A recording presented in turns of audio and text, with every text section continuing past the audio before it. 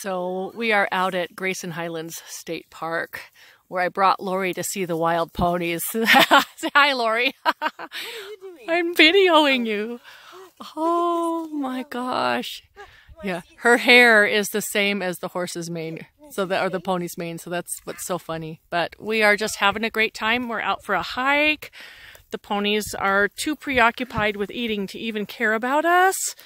But we've got beautiful views in the distance and a few days to spend together, so we are just enjoying our time. Hey, hi there. Yeah. Oh, you're gonna...